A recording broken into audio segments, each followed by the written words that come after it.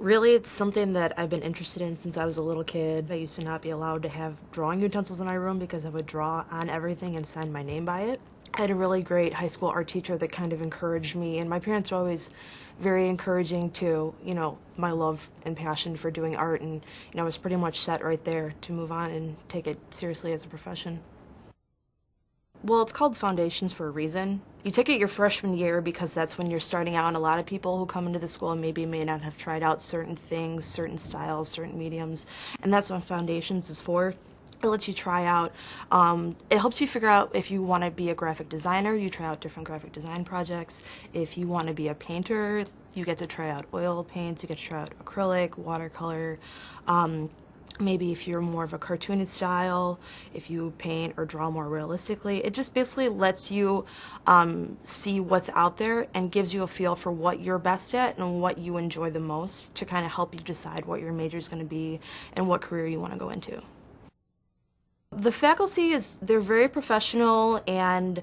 I mean they treat you like they're your friends and they're very close with you but they're very strict at the same time. They're really encouraging because of the fact that they are artists themselves. They've been through the business, you know, they have their own skill sets and qualities that they're they're not just encouraging to help you, but they show you how they can help you by doing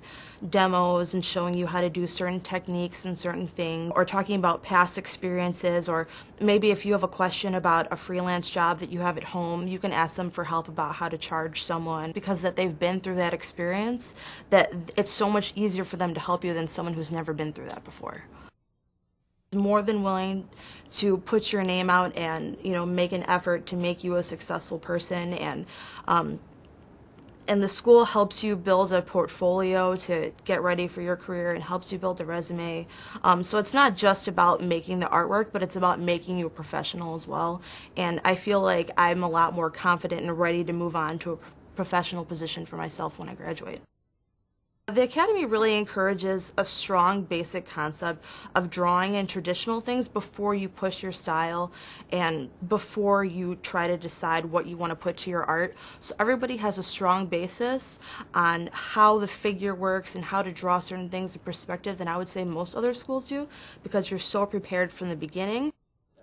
I think it's great. Uh, I mean, not only do I like coming down here, you know, for personal fun reasons, but it's it's even better that I can be down here for school because it's in such a diverse area, and there's so many museums and galleries in the area, classes and foundations and stuff. We might go to Millennium Park and draw certain architectural things for class. So you're not always in the classroom. You may go around the actual city to draw things and to paint things and.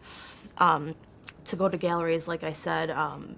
if there's a certain exhibit coming to the Art Institute, we'll go as a field trip and go and talk about it and and just discuss new things that are in the show and or you can go to Millennium Park and go ice skating after class in the wintertime and stuff like that.